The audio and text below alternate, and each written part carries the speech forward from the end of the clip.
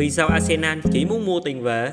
Dù đã hụt chức vô địch Premier League ở những vòng đấu cuối, nhưng phải thừa nhận rằng Arsenal đã có một mùa giải vô cùng thăng hoa. Điểm yếu của Arsenal nằm ở hàng tiền vệ. Đó là lý do vì sao tất cả những cái tên họ nhắm đến đều nằm ở tuyến giữa. Partey và Haka là những tiền vệ kiệt xuất, nhưng vấn đề là họ đá quá trực diện.